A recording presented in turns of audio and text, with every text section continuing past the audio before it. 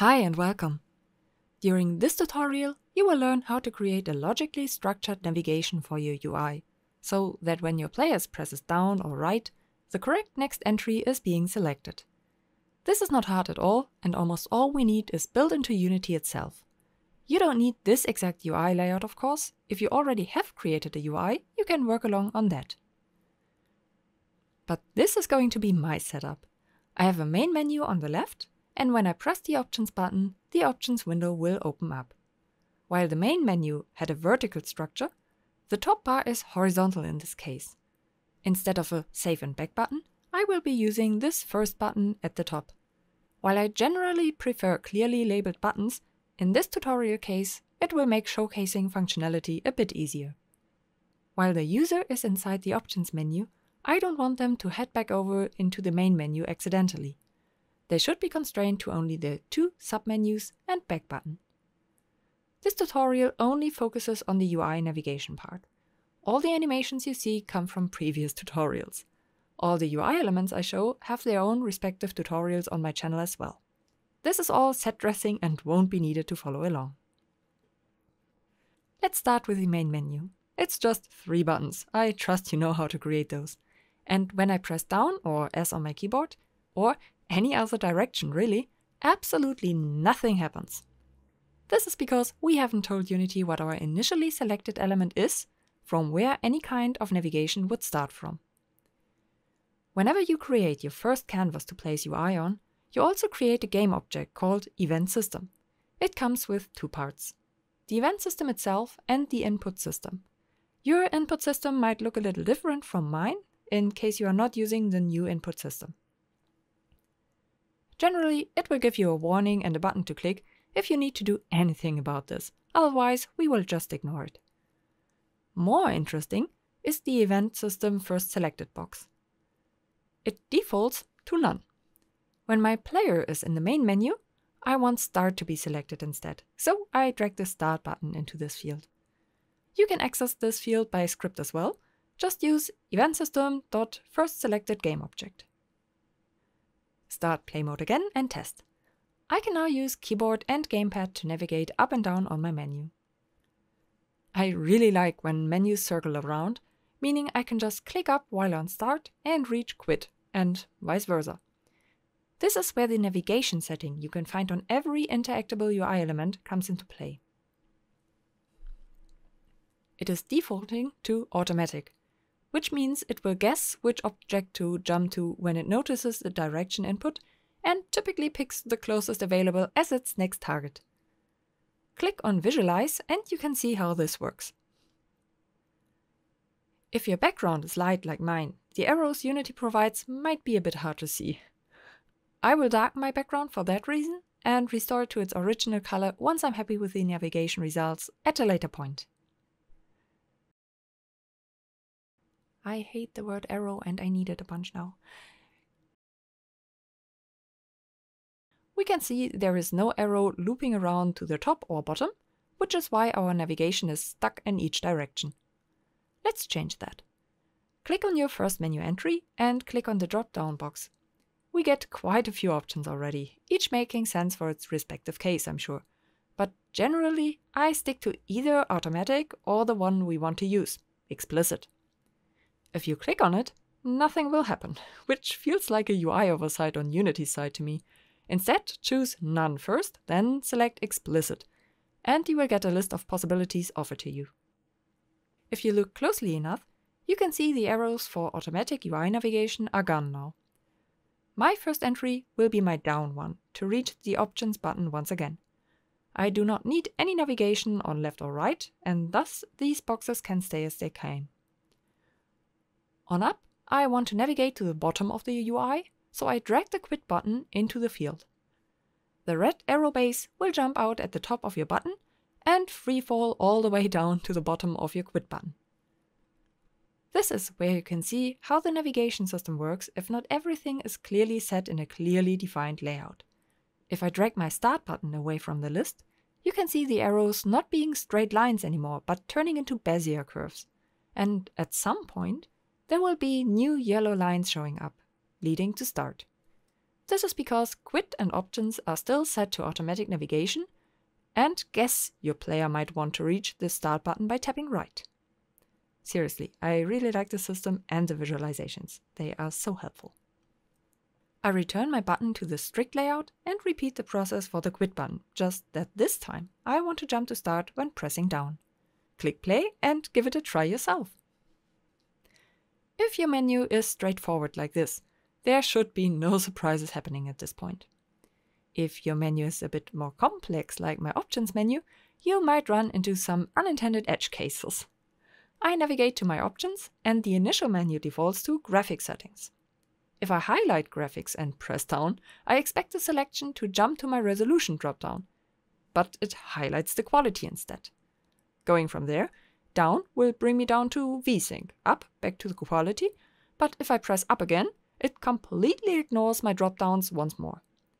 My audio tab is equally nonsensical in its navigational structure. Let's show the visualizations once more. I would love for these arrows to be less infuriatingly thin, one pixel hardly shows up on my screen.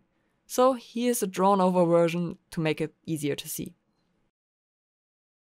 And this is pure chaos. and what happens if you trust automatic navigation? If a system guesses, it can guess wrong after all. It struggles with figuring out elements in child objects and nested objects a lot, and can overlook them easily. So let's start cleaning this up. The first thing is that we do not want to jump between main menu and options menu just by pressing a direction. Only if we press the options button, the corresponding menu should open and our selection jump to its initial position. That will require a few lines of code we will tackle in a moment. For now, simply set the navigation to either vertical, which will save you a bit of time, or explicit, in which case you will need to manually set up top and bottom again. Our Back to Menu button is ideally suited to be set to explicit navigation. Horizontal would have us jump back to main menu, and automatic would furthermore lead to the player being able to jump back into the settings themselves. Again, that's a thing I don't want to offer. Graphics and audio will be set to custom as well. Horizontal would be too limiting, automatic too unreliable. From here, you will need to go through each element in your menu's sub-hierarchy and change its navigation in a way that makes sense to your setup. It really pays off to have a good structure at this point. Because everything would try to jump to the back button, and I only want to reach that one from the top menu, Explicit will make the most sense in my setup. I will repeat these steps for my second settings list for audio as well, of course. And if you enjoyed the tutorial so far, please give it a like and click subscribe if you haven't already. Since I can't test jumping from main menu to options menu currently, I set up my graphics button as the default first selected element in my event system and test my navigation in play mode. If everything looks and behaves as expected, I recolor my menu background to something less jarring, and we can jump to the last part. Writing a few lines of code to use when the navigation needs to automatically jump to a certain place. Use cases are for example menus like the one in this tutorial, or pop-up modal windows in your game, where the player suddenly needs to make decisions. My script is called sets UI element to select on interaction, which hopefully should be as descriptive as it needs to be it needs two references. One to the scene's event system and one to the game object we want to select, for which we can use the selectable class. That's the one every interactive UI element in Unity inherits from, and will make sure we won't accidentally drag something in we can't interact with. Because we are ignoring the core navigation system in this approach, we will not be getting any of those handy navigation arrows from here on forward, which is why I propose using a substitute. We will check if we want to visualize the jump from this object to the one to select, and we need to set a color. I'll be defaulting to cyan, as that's rather readable. We draw the line connecting both elements in OnDrawGizmos like this. We check if we want to show the visualization first, then check if we actually have an element to select. If both checks pass, we set the line's color to whatever we chose to pick for it and draw a line from the origin object to the element to select. That's by far not as pretty as having curved lines and arrows, but it gets the job reasonably done well for just a handful lines of code, and hopefully will only need to be used during the initial setup anyway. No reason to power ages into this. Reset gets called one time when the script is being attached to a game object inside the editor, which is why I'm perfectly fine with having it search for the event system for me. In case it won't find it, you might potentially have removed it from a scene. You can get it back by right-clicking on your hierarchy, UI, event system. Check to make sure your element has found it with the debug log statement. Giving it the context will give you the ability to click on it in your console and it will highlight the offending item in your hierarchy. Jump to element will do exactly what it says. Check once more first, then set the event system selected game object to the game object or element to select is sitting on. Back inside the editor, add your script to the element you interact with and add the method to the list.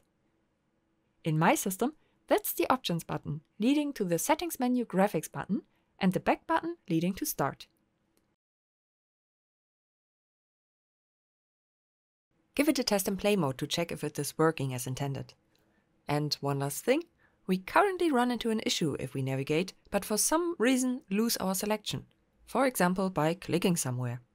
For this, we should make sure deselecting is basically impossible. The code for that is simple enough. A new class is tasked with keeping track. It needs a reference to the event system and needs to store another for the last selected element. In reset, we fill our references automatically. In update, because as far as I know there is no event we could listen to for this, we look for two scenarios. We have a currently selected object and it is a different one to the already stored one. In that case, we store it. If we do not currently have a selected object and our last selection is not null, we set it to the last selected one. Create a new game object, attach this script and give your navigation another try. I'm clicking wildly around on my screen and the selection stays where it is. And that's all there is to it. Again, all you've seen in here has been covered in other tutorials of mine before. I recommend watching my squash and stretch video for the button animation or the UI animations tutorial next. Hope you enjoyed this. If you did, please leave a like and subscribe. Have a great week!